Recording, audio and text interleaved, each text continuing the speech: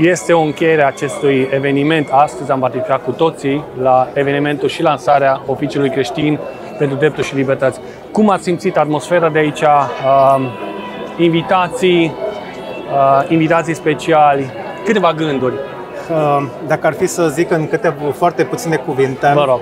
uh, așteptările noastre au fost relativ mari, dar uh, am crezut că este doar o dorință mai degrabă și realitatea că va fi alta, că e doar un acel entuziasm mediatic și că realitatea nu e neapărat susținută. Ceea ce s-a întâmplat astăzi, că s-a umplut această sală și mai mult că majoritatea din cei care au venit de dimineață au rămas până la această oră, Chiar fenomenal. este o, o, o dovadă a interesului real și mă bucur că practic este un fel de validare, o confirmare a inițiativei pe care oarecum am lansat-o și a ajuns în spațiu public. Deci, frate Moțec, este un real succes acest eveniment care a fost și ca și conferință, dar și ca și lansare a acestei organizații OCDL. Acestui Aș fi oficiu. rezervat în ceea ce privește cuvintele pentru că uh, planul este de lungă durată. Sigur. Dacă e să ne referim la, strict la evenimentul acesta, da, putem să spunem că a fost un succes. Dacă e să ne referim la organizație și la activitatea care urmează, este un bun început. Un uh, început care ne provoacă. Deci asta ne responsabilizează și atunci zic că suntem pe drumul cel bun. Succesul se obține în timp cu muncă. Vă mulțumim pentru invitația care ne-ați acordat-o să fim parteneri cu uh, OCDL în această lucrare frumoasă. Sperăm ca și la următoarea ediție să fim uh, împreună cu toții, toți aceia care vor să dea o mână de ajutor. Dacă îmi permiteți, Vă mulțumirile rog. sunt reciproce.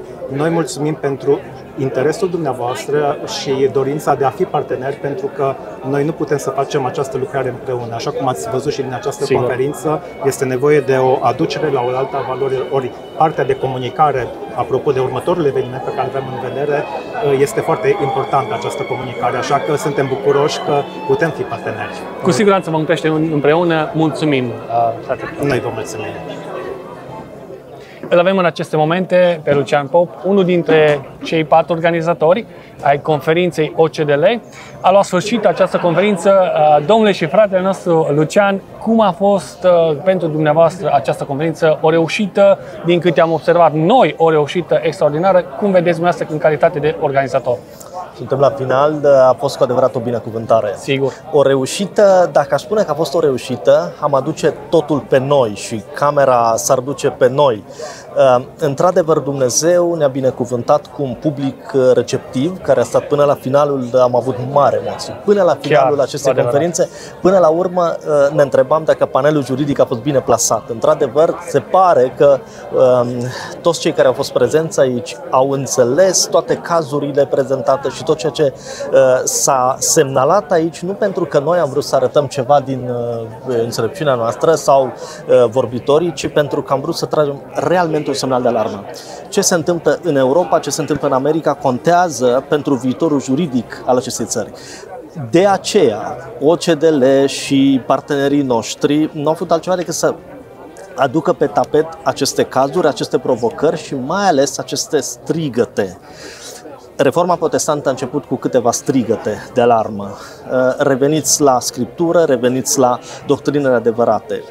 Ceea ce s-a întâmplat astăzi aici a fost un strigăt la faptul că trebuie să ne redefinim foarte bine termenii când vorbim de uh, drepturi și libertăți, trebuie să ne redefinim foarte bine identitatea în calitate de creștini, că titulatura aceasta sau uh, harul de a fi creștin presupune un cost, și Dietrich Bonhoeffer spunea despre costul uceniciei, toate aceste aspecte am vrut să le încapsulăm, să le dăm o formă. Cred, nădăjduiesc acum la final, când suntem așa, uh, cu, cu uh, emoții și în același timp obosiți după ceva bun, sentimentul acela când ești obosit că ai făcut ceva bun la finalul unei zile, spun că aceste concluzii înseamnă de fapt o realitate.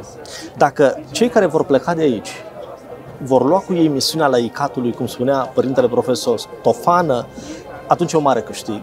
Ce înseamnă misiunea aceasta? Acolo unde Dumnezeu te-a așezat, fii o mărturie și încearcă să faci cât poți tu de bine ceea ce Dumnezeu te-a chemat. Apără drepturile și libertățile fundamentale, nu neapărat de pe poziția de jurist sau om specializat, ci în modul în care Dumnezeu ți-a vorbit, în modul în care Dumnezeu te va călăuzi. Domnule Cean, mulțumim că am putut să fim parte cu dumneavoastră la acest Mulțumim. proiect OCDL. Câteva gânduri pentru platforma Vocea Creștinilor. Ce îndemnați? Este o mare bucurie de câte ori uh, privesc vocea creștină. În momentul în care moderatorul intervine și pune întrebările și este atât de cald, pentru că am văzut moderatori abrazivi care uh, te pun la punct. Avem un, uh, o, o gazdă importantă și caldă acolo, mă rog ca proiectele pe care le aveți, interviurile pe care le faceți, uh, implicarea în media creștină să fie cu adevărat o binecuvântare pentru toți cei care preiau mesajul și îl duc mai departe. Pentru că vocea creștină tocmai asta este, o voce. Și vocea asta trebuie auzită.